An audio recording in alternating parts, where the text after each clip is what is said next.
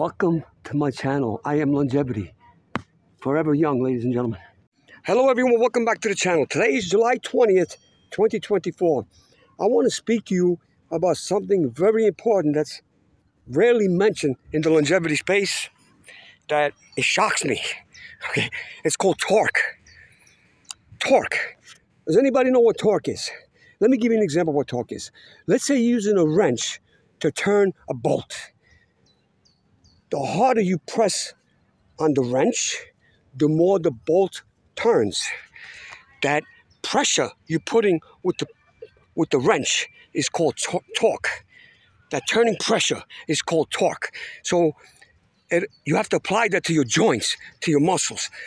There is one specific muscle that I consider extremely crucial for lifespan. Forget about longevity, for lifespan. Actually, this is just not, this my opinion based on studies, and I'm going to show you a study. When you get older, there's a specific muscle that you lose torque velocity, you lose speed, power more than any other muscle, and it's strongly connected to health span and lifespan and diseases and age-related diseases. In other words, because this muscle weakens, you lose torque, but, but indirectly, it causes age-related diseases. I will explain all this. It's called the knee extensors. The knee extensors, which are the quadriceps. Okay, you have the dorsiflexors here. Here, you also lose that, but the knee extensors, this, this part here, between young and old, it's like night, day, night and day. It's like apples and oranges. So I am going to show you exercises I do to maintain this torque because I, am not trying to lose it. I am not trying to lose it. Once you lose it, this is why when you lose torque, people become immobile, they become sedentary, they move less. Walking is not enough. These muscles are used for sprinting, for power, uh, uh, jumping, hopping. We don't do that. People don't do that in older age. That's why you lose the torque in that area. You maintain that torque, you could actually live longer because you will exercise more. You'll be more incentivized to exercise more because you can move. You're not hurting, you're not in pain. Plus, torque is used for a lot of other things. Running up the stairs, whatever it is, it's used for life, lifestyle factors. Okay, I'm gonna I'm gonna show you some of the exercises I do. I will also show you. I will also talk about.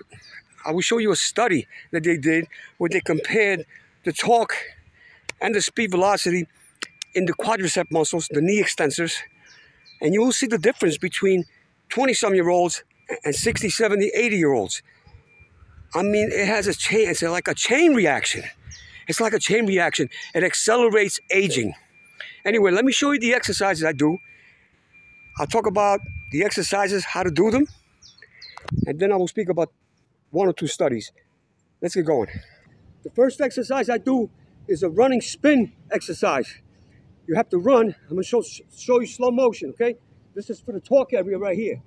You're gonna run slow motion. I'm gonna show you slow motion, okay?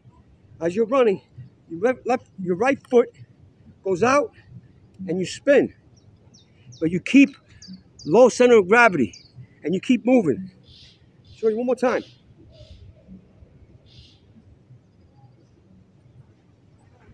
Keep low center of gravity. I'm going to try.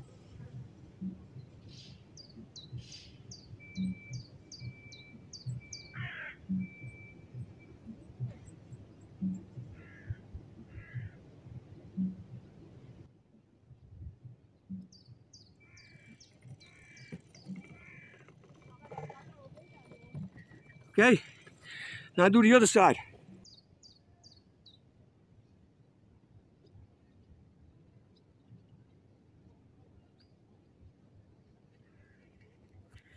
Okay, that's one of the exercises I do to maintain my torque.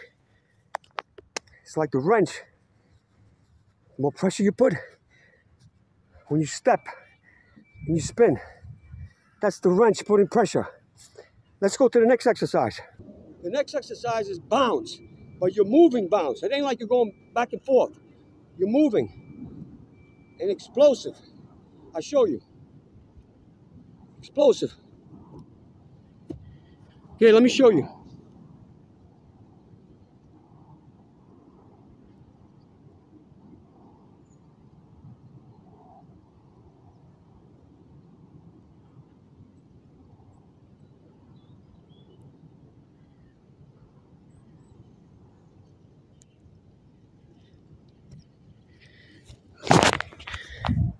You're not you're not stopping. As soon as you as soon as you land, you hop. You hop off. You hop off. That works that joint. It works the stability. It works the torque. Okay. Those are called, I don't know, they call bounds, but I call them moving bounds because I'm moving. Let's go to the next exercise. The next exercise is side hops. But it's going to be a little bit different. I'm going to start them like this because I want to get the torque power coming upwards on my joint. Like this, look. Okay, then I, then I go like this. Let me show you.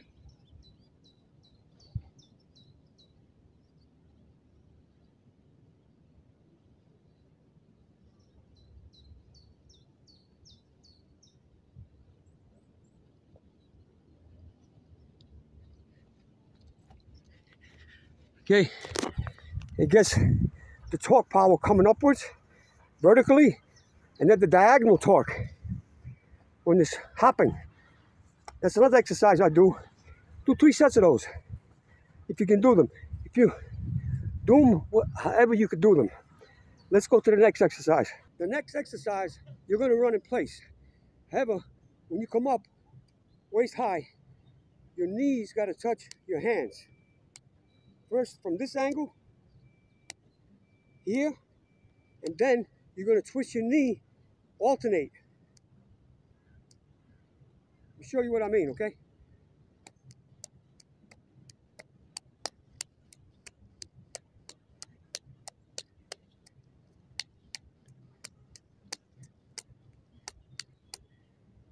That that gets different sections, all from different angles. It gets quadriceps and the knee joint. And you get power at the same time. Remember that twisting at the end. Twist, alternate. Make sure you twist your hip. That works the torque in the knee very good. Let's go to the next exercise. The next exercise is skipping. However, you don't skip like this. You could do that if you want, but I twist, I, I turn. Let me show you.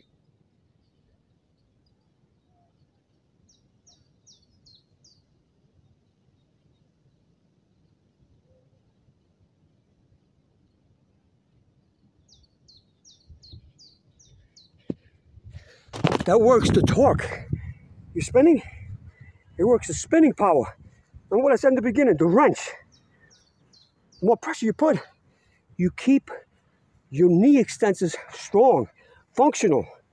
You can go to the gym and work out with weights, but weights don't help for functional health. You need to move. You need to twist. Twist that joint as best as you can. Keep it healthy. As we age, one of the significant physiological changes observed is the loss of this torque and the knee extensor muscles, the quadriceps. This decline in muscle strength and power directly impacts various aspects of health and lifespan, contributing to the development of age-related diseases. For example, muscle strength and functionality. The knee extensor, the quadricep muscle, play a crucial role in mobility and daily activities. With age, there is a notable decrease in knee extensor torque, which results in reduced strength and power. This decline makes tasks such as standing up from a chair or climbing stairs more challenging, leading to functional limitations and decreased independence. Next one is the risk of falls and frailty. Weakening knee extensors are linked to increased risk of falls among older adults. Falls can have severe consequences, including fractures and hospitalizations, further compromising health and quality of life. The next one impact on chronic diseases. Listen to this. Reduced knee extensor torque contributes to a sedentary lifestyle, which is a risk factor for chronic diseases such as cardiovascular diseases, diabetes, and osteoporosis. Maintaining muscle strength through the exercises I showed and other physical activity is crucial in mitigating these risks. The next one is quality of life and lifespan. Overall, the loss of knee extensor torque accelerates the aging process and decreases quality of life. It underscores the importance of interventions such as the ones I showed, the exercise I showed, to preserve this torque, especially as you age. Understanding and addressing the decline of knee extensor torque is essential in promoting healthy aging and extending lifespan, emphasizing the need for targeted interventions to maintain health throughout the aging process. This is why I do these exercises. People ignore them. Most people, all they do is ride a bike, walk, um, go to the gym to do some resistance training, or jog long distances. This does not work the torque area anywhere in the body, especially in the knee area. Show me your torque, and I'll show you how old you really are. And I mean this with all due respect to everyone. There's a lot of fit people out there, older people. There's a lot of them that are fit. You look at them, they're healthy, they rip, they cut up. Can you move? Show me your knee movement. This is a serious thing. Everybody ignores it. I don't ignore it because I believe this is strongly connected to lifespan, this specific area. Even the dorsiflexor, that's the muscle that makes you lift your foot up. Even though that the torque in that area lessens, decreases with age, not as much because older people still walk. So the thing is, people don't jump, they don't run. So this the area in the knees weakens. When the area in the knee weakens, you do less exercise. You will go to the gym, you even though you do squats, it's not the same thing as functional ability, the movement, the smoothness. Take a younger person, compared to his older self. The torque is unbelievably lesser from the same person as when he was younger. Incredibly. This is what, when a person moves, this is what shows his age, his torque, shoulders, elbows, hips, knees, and ankles, but specifically the knee area. This is so important, so important. I implore all of you to train for torque, maintain the torque, because this will help you maintain a youthful body, youthful movement. This is what I do. And you can see from my videos. I mean, I've been doing this for a long time, and I, not not from the studies, just from just from thinking about this and, and over the years. I just knew it, but now the evidence is there. Okay, look, I wish you all the best. I hope studies I showed, and I hope the exercises I showed you can incorporate into your routines. Please always speak to a medical provider to ensure that your body's capable of doing those exercises. Okay, I don't want nobody to get hurt. And another thing I want you guys to do is eh, you must warm up good. Jog for 10 minutes. Do some stretching. Always warm up good before you do these exercises. I wish you the best of luck, everyone. Stay healthy, and I hope you live a long, healthy life. See you in my next video.